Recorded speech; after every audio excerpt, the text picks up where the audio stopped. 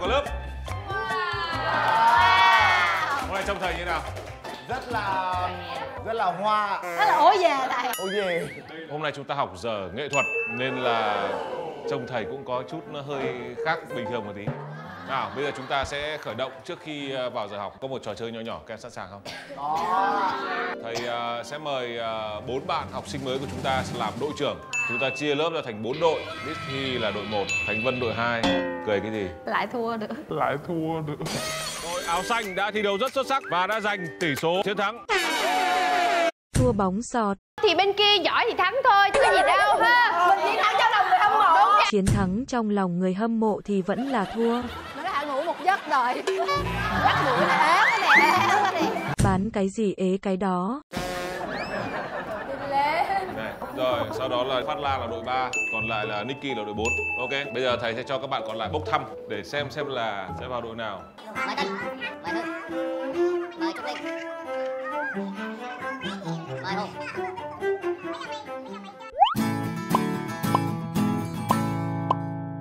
Trò chơi vẽ hình đoán chữ. Giống như tên gọi, nhóm trưởng của mỗi nhóm sẽ nhận đề bài là các từ khóa của thầy xoay. Sau đó vẽ lại mô tả từ khóa đó trên bảng Sao cho các thành viên còn lại của đội có thể đoán ra đáp án là gì. Đương nhiên rồi, nghiêm cấm mọi hành động tiết lộ đáp án một cách lộ liễu trắng trợn. Dù chỉ là một trò chơi khởi động đầu giờ Không biết liệu lần này nhóm trưởng Khánh Vân có dẫn dắt đội mình đi đến chiến thắng hay không. Hãy cùng xem bốn đội thể hiện ra sao nha. Biết rồi biết rồi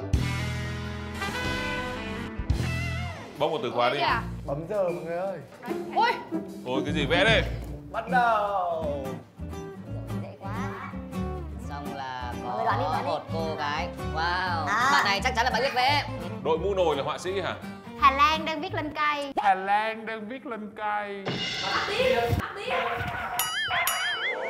Ok chính xác. Không cần phải vẽ xong. Cảm ơn tôi đây, cảm ơn tôi đây. Nào cái thứ hai. Ok rồi đừng đoán hộ nha đừng đoán hộ. À rồi khỏe Doraemon. Cái này thì dễ quá. à. Thầy Tiến Dũng à, rồi khỏe Thầy Tiến Dũng Ta hoài. Ta Bịch cái miệng. rồi.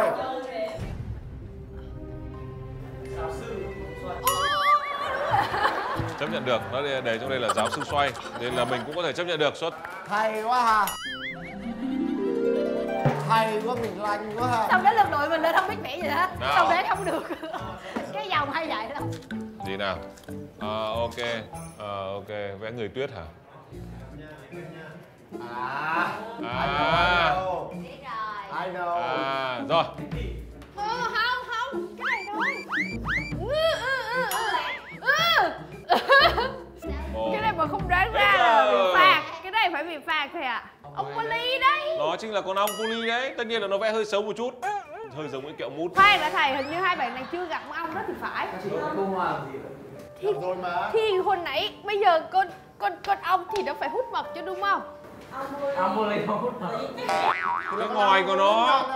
Cái này nó không có khái niệm về con ong rồi thầy ơi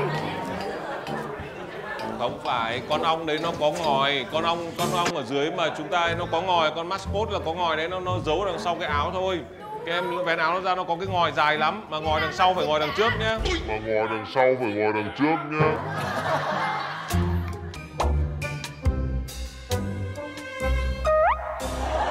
mà ngồi đằng sau phải ngồi đằng trước nhé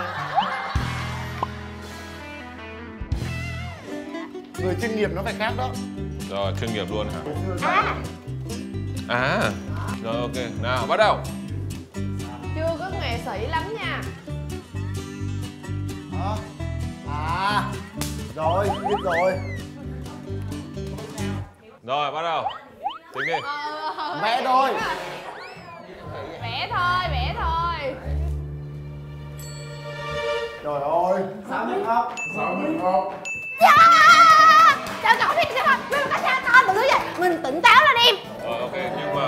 đây chỉ góp ý như này thôi. Em vẽ xong thì em đừng diễn tả tại vì em diễn tả làm hai thằng nó còn khó hiểu hơn. Em em cứ như này như này. Hai thằng lại trợn mắt lên nhìn kìa. Có cái gì đấy? Nó không nhìn cái này nó nhìn em ấy khổ. Nào. Ờ, ok rồi. Đồ vật. Em cũng không biết phải vẽ cái này làm sao luôn á thầy. Cái su chiên Rồi rồi rồi. À, Hợp phở, phở Việt Nam. Hợp phở, phở Việt Nam. Rồi, chính xác. Có vẻ anh như một con bù nhìn thôi mà cũng nhận được ra là bom Việt Nam bọn này giỏi thật. Ok, tiếp tục. Team này thắng là giờ đồng đội đó trời ơi. Ông. Thành Vân Trời ơi. Trời ơi. Ấy này trừu tượng nha mọi người. Cái này nó mà đoán được thì thầy đúng rồi. À rồi biết rồi. Có, có cá nha, đây là Này không được nói chứ. À, dạ, Để người ta lỗi. tự hiểu. Đó là vô cực. Cái đó là mà Chính là cái lúc nãy em tưởng nhầm đấy. À. À, à biết rồi biết rồi biết rồi biết rồi. Biết rồi biết rồi đúng rồi đấy. Rồi, rồi, rồi, ok. Rồi, nào mà các em. Một phút bắt đầu. Đoán đi. Nào, các em. Ca sĩ, Ca sĩ. Rồi, rồi. Tiếp tục. Ờ không được nói. Không được nói. sĩ Cao Thái Sơn. đúng một chữ. Không được nói. Ok. Sơn Tùng. Gần đúng rồi. Đúng rồi. Còn 30 giây nữa. Tiếp tục đi. Subin Hoàng Sơn. Subin Hoàng Sơn.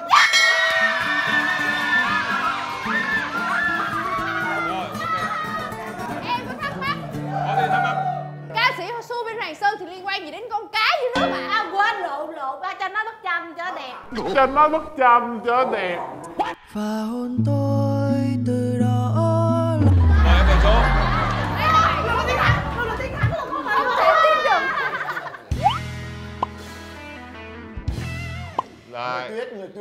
Lại một. Elsa Elsa. À biết rồi biết luôn. Lại ca sĩ tiếp. Cũng lại nốt nhạc. Nó chép tranh luôn này. À, copy tranh rồi thầy. Chép Đấy, rồi chép thầy. rồi. Chưa Cái để. này không nhưng quan trọng khác ở cái gì đây? Rồi. Hàng rào. Đoán đi. Thanh Bình. Chính xác. Thế nó đoán ra. Nhưng mà từ từ đã. Dạ Thầy không hiểu cái này là tại sao tức là nó cân bằng như này thì gọi là bình ấy hả? Dạ không Tại sao? Là Chữ tờ ấy ạ. Người ta nói chữ C thầy Chữ T có tính là phạm luật không? Phạm lỗi. Phạm luật. Rồi là không được tính. Yeah. Ai lại chơi viết chữ? Trời sao khó vậy? Trời sao khó vậy? Do mình bốc thôi mà. do ăn ở thôi. Với cả là toàn mấy cái Đây. khó là cuối thôi. Rồi, Có phải là hơi buồn cuống rồi. đúng rồi. Lại tiếp tục. Lại là một ca sĩ khác. Ca sĩ rồi. Nữ ca sĩ Mỹ Tâm. À, à, wow. Công Phượng. Công Phượng. Chính xác. Ok. Được. Vẽ ra con công là được rồi. Dự là cái tương lai của nhóm 4 là không suôn sẻ. Chắc chắn rồi, chả nhóm nào suôn sẻ đâu. Cái này chỉ cần vẽ được ra một cái keyword nào đấy là nó sẽ đoán được. Lặng im. Lại ca sĩ. Nữ ca sĩ Lại là một người. Ca sĩ. Ca sĩ Bích Phương. Này là nam ca sĩ. Ôi. Lại một người nữa. À. À. À mình Chính xác. Mình là đúng chưa? Mình là đúng chưa? Phải nói là xuất sắc. Rồi, mời em về chỗ. Đi. Bây giờ đến đội của Nicky. Rồi, một trái tim. Gì đây? Gì đây? Rồi, có thể là một con người. Rồi, con người này có mỏ, tay cầm một cái kem. Xong là cái gì đây? Con lợn hay con gì đây? Con này con bò hả? Con trâu. Cháu Bùi. Châu Bùi, chính xác rồi. Chính xác. Chỉ cần vẽ con trâu thế là đủ rồi. Nào. Tại nó không biết vẽ chữ bùi thầy Cái mùi biết sao ta? Ờ, khó, khó. Gần chữ mùi thì em biết. Lại là ca sĩ. Lại có nốt nhạc đùa chứ bọn này sao nó giống nhau vậy? Rồi, tiếp tục. Nào, nào.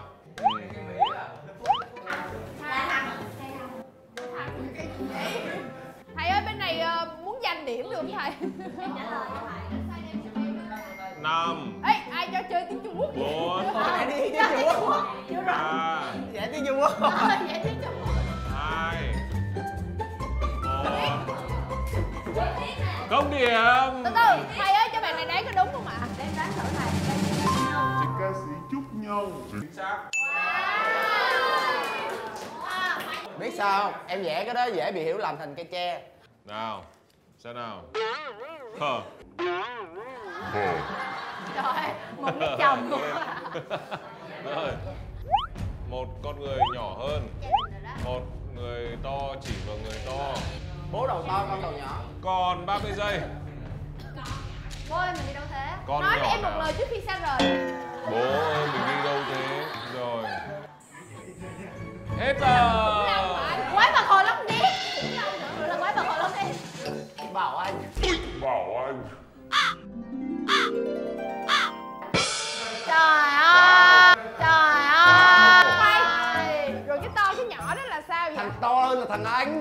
bé hơn là à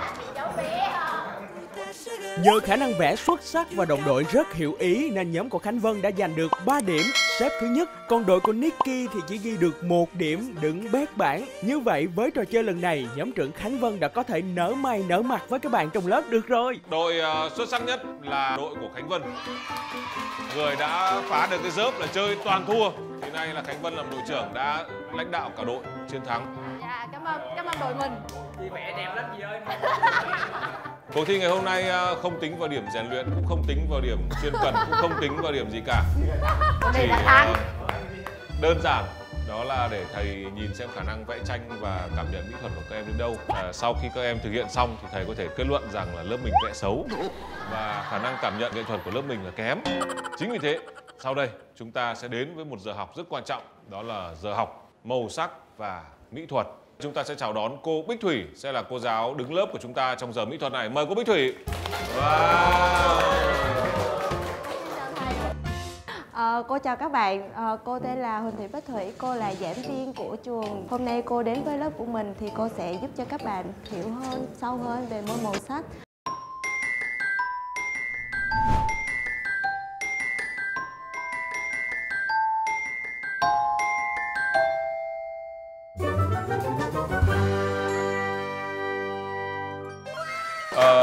Này hơi quậy một chút, đứa nào quậy cô cứ ghi sổ lại cho tôi. Dạ, vâng ạ. Còn việc làm gì với bọn nó tôi biết cách. Vâng ạ. Cảm ơn cô, xin mời cô. Dạ, em chào thầy. Vâng.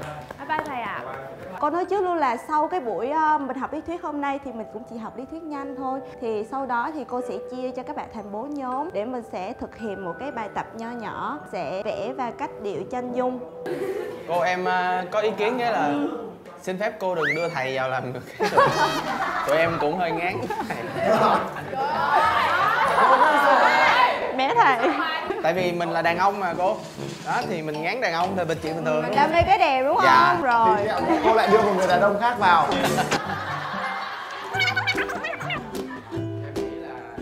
Không có ánh sáng là không một cái màn đêm buông xuống không có hề có có cái ánh sáng nào thì mình sẽ có ví dụ nha giống như là cái lá cây đi bình thường các bạn sẽ thấy nó màu xanh đúng không nhưng mà khi ánh nắng buổi sáng chiếu vào được tạo ra màu bọc những màu cơ bản và có cả màu trắng với đen cho các bạn ở trung tâm chút xíu, đúng không? Thì ờ, thì này là màu dạng như cô cắt nghĩa sẵn luôn rồi. Là các bạn sẽ dùng những cái kiến thức mà hôm nay cô đã dạy các bạn bắt đầu pha ra và tô và cách điệu lên một cái bài đã có sẵn. Đây chính là rất là bất ngờ. Cô Cô giật cả lúc, đang xem người đẹp, Đang xem người đẹp luôn Điều anh không Anh này muốn nay hay, cũng đã đến. Sao? Sao phát có muốn đổi đề bài không? Để cô thầy cô nói thầy. Dạ mình đổi được hết. Mình nói thầy. Đây là sự lựa chọn của thầy. Em nói là ừ, Nhưng mà ai là người chấm điểm cô? thầy thầy và cô. Sai một ly là đi luôn ra khỏi lớp. Muốn trừ điểm không? Sao? Đúng rồi. Có đổi không? Đổi không? Em Thôi sẽ bạn ơi Dừng lại đi bạn ơi. Em sẽ cố gắng. Nhắm mắt mà tô thôi. Em nhắm mắt em tô được cô yên tâm Bây giờ các bạn có 30 phút để các bạn thực hiện bài này nha. dạ vâng ạ. Didn't know what my heart was in for till you stepped into the room. And I didn't show, but I wanted to know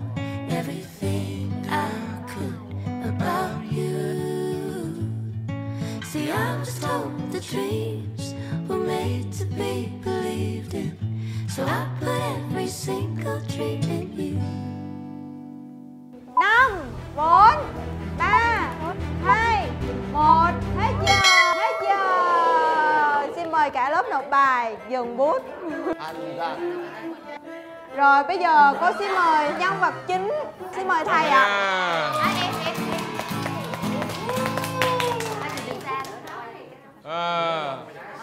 là hình tôi của cô?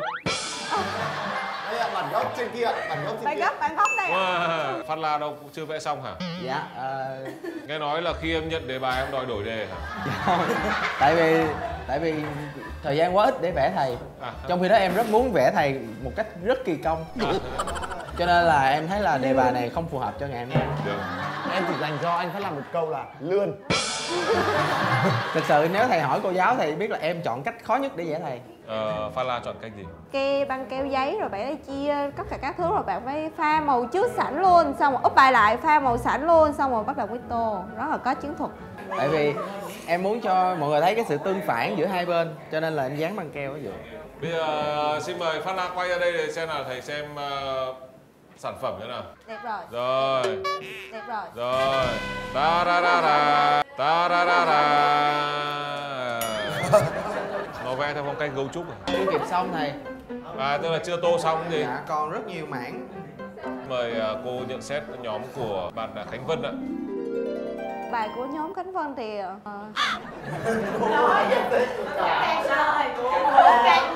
nhìn thầy ờ, rất là nhiều màu mè giống này à giống này. Vâng. nhưng mà cũng ờ, nhìn vẫn ra nét được thầy chỉ là cái môi cái môi thầy hơi nhạt nhòa thôi Ừ. môi của thầy đậm hơn xíu nữa đặc biệt là chỗ con mắt thì nó rất là có hồn đúng thầy tôi tôi đúng tôi công nhận là con mắt của của nhóm này vẽ rất là có hồn Ờ, bức tranh này nhiều khả năng là để các em ấy focus vào đôi mắt của tôi giới thiệu với cô là rất biết luôn. Mắt tôi là bị loạn thị. Mắt tôi là bị loạn thị. À, mà cả hai mắt đều loạn bốn phẩy cả nên là tôi không nghĩ là nó có hồn được thế kia đâu. Thầy đôi mắt của tụi em cũng có hồn đấy. À đấy của em là một nửa hồn nửa hồn thương đau. ok rồi xin mời à, nhóm của Miss Thi. Phong cách đấy. Ừm. Nhóm này thì rất là xuất sắc rồi thầy. Với thời gian như vậy và các bạn vẽ được như vậy là khá là tốt. Sáng tối đàng hoàng sáng rất là tối chỉnh đàng chu.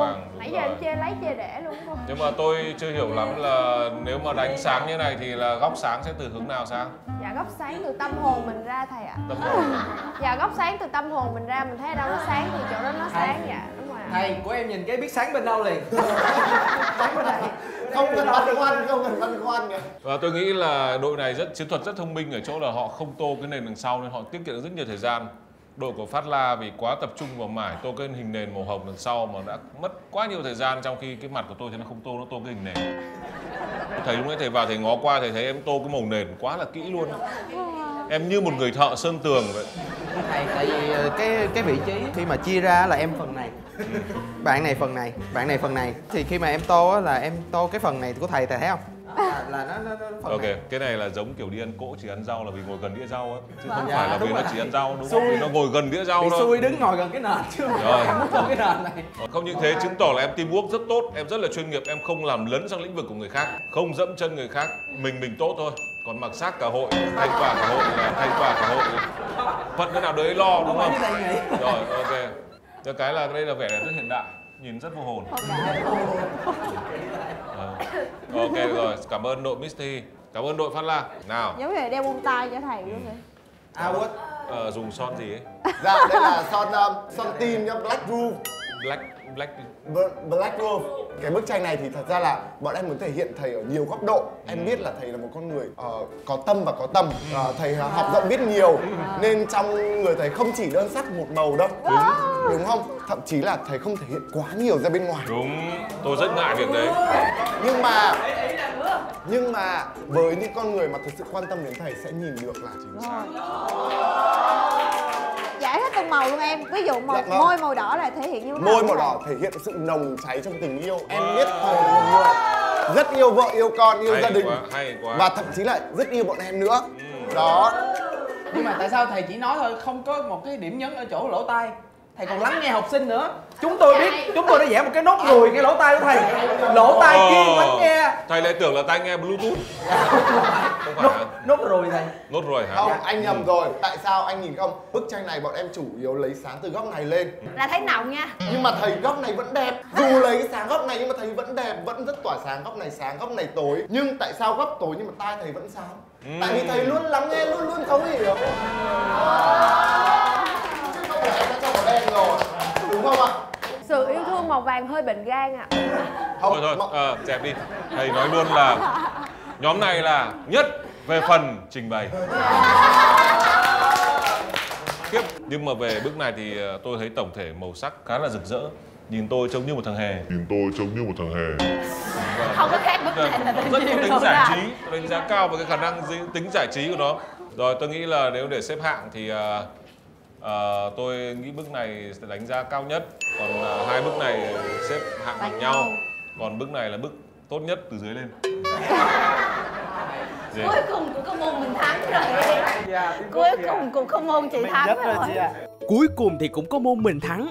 Vâng, có lẽ là một ngày may mắn của Khánh Vân khi liên tiếp giành chiến thắng ở cả trò chơi khởi động đầu giờ lẫn điểm chuyên môn thiết kế đồ họa. Bức tranh của nhóm cô được thầy xoay chấm điểm cao nhất với 5 điểm, các nhóm còn lại mỗi nhóm được 3 điểm. với một cái buổi học ngắn và các em đã có một ờ, sự tập trung và quan trọng nhất là làm việc chung với nhau. Nghệ thuật mà làm chung được với nhau là một điều cực khó. Cái thầy đấy thầy phải nói thật lòng và các em phải làm phải phối hợp với nhau như nào phải nể nhau như nào phải cùng gọi là đồng tâm như nào mới có thể làm được như vậy. Và thầy đánh giá cao việc đấy. Rồi đề nghị các em ờ, dành một tràng pháo tay để cảm ơn cô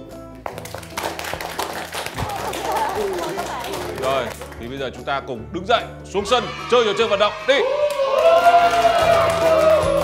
rồi, mời cả lớp.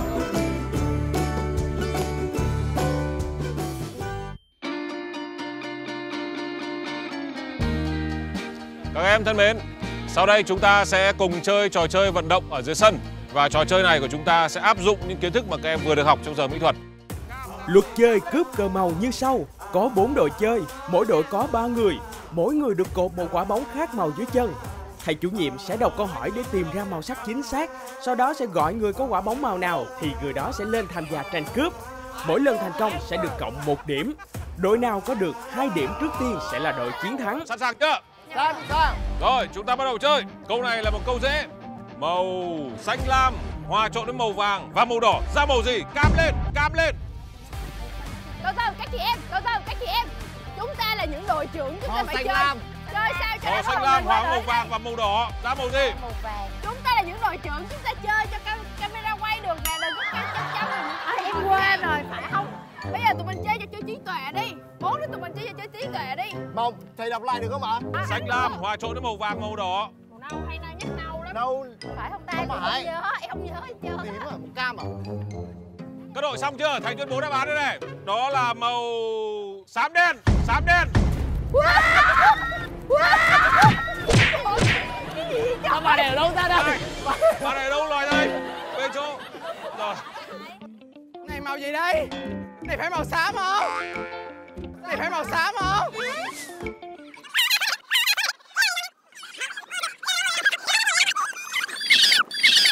Xám đen. Màu gì đây? Này phải màu xám không? Ủa? Màu xám mà Xám cam Có xám cam và xám đen nữa Khánh Vân ở đâu vồ không kịp. Rồi ra cắm lại cờ đi. Chúng ta đến với lượt chơi số 2 sẵn sàng chưa? Nghe đây này. Màu xanh lá cây hòa trộn với màu xanh lam ra màu gì? Trắng lên. Nào nào nào, màu gì màu gì? Màu gì? Cầm chưa? Bỏ gì? lại, ôm ơi lại Tân ơi Ốm, ốm lại, ốm lại. Màu chính xác Thôi chứ thầy phải đọc bóng màu Bắt người. đáp án đó là màu xanh coban. Mình đây, mình.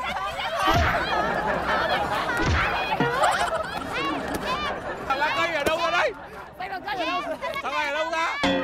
Về chỗ. Nay đâu ra vậy? Thầy ơi, phạt! Phạt! tự nhiên chạy lên giật mình luôn Không, bây giờ phải chơi kiểu này, không thể như thế được. Thầy đã phổ biến luật rồi, không thể có chuyện nhầm được. Về chỗ nào? Mau lên. Trong trường vừa rồi, bạn Thuận đã lấy được màu xanh đúng, màu xanh coban. Nhưng có một số bạn ôm bạn Thuận.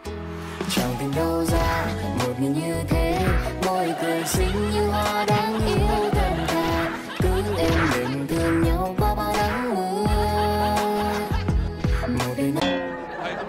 gì ôm bạn Thuận là chuyện bình thường. Nhưng có một bạn không nằm trong diện được lên thi đấu mà ra đạp vỡ bóng bạn Thuận màu xanh coban.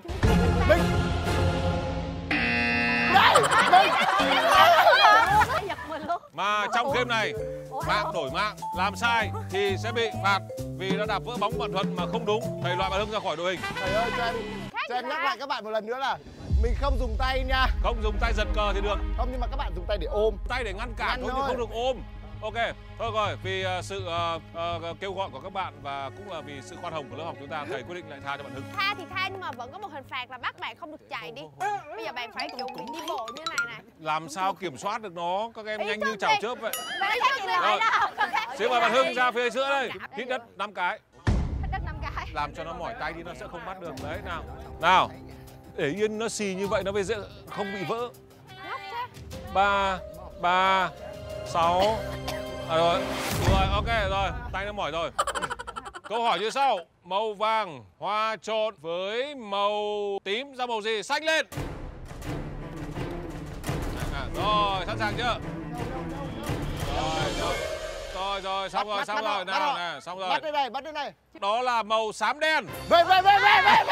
Về về về về về. Về về về về về về. Không được dùng tay, dùng tay, dùng tay.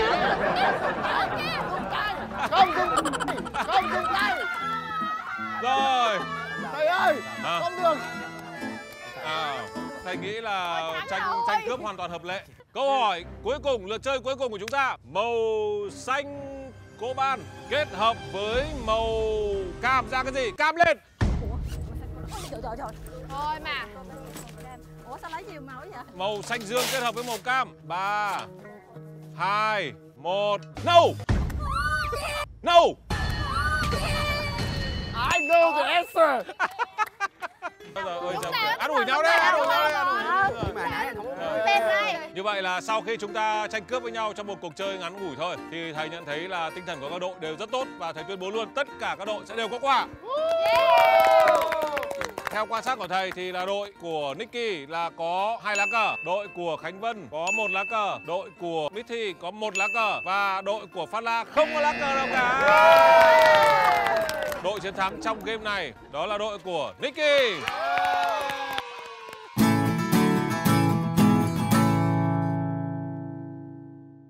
Và ngay sau khi lớp học chúng ta đã được thực tập luôn xem là bảng pha màu như thế nào. Và các em đã có một phần thi như vậy là phải thấy rằng là, là các em tập trung vào hành động cái lập tức là não nó không suy nghĩ gì luôn.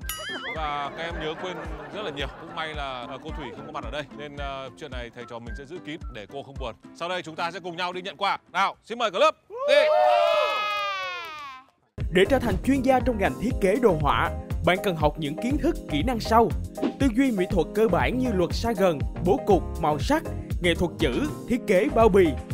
Đồ họa cơ bản bao gồm thiết kế hình ảnh với Photoshop, minh họa với Illustrator, chế bản điện tử với InDesign, AutoCAD 2D, 3D, in ấn, thiết kế đồ họa động và hoạt hình, Flash, BDS Studio Max, xử lý hậu kỳ âm thanh, video với Adobe Premiere, After Effects, kỹ năng mềm và tiếng Anh. Sau khi học xong, bạn có thể phát triển nghề nghiệp theo các hướng sau. Chuyên viên thiết kế 2D, chuyên viên thiết kế dàn trang, chế bản điện tử, chuyên viên thiết kế in ấn, biên tập ảnh số, chuyên viên thiết kế giao diện website, app, chuyên viên thiết kế 3D, chuyên viên thiết kế nội thất, chuyên viên thiết kế game, photographer video, editor.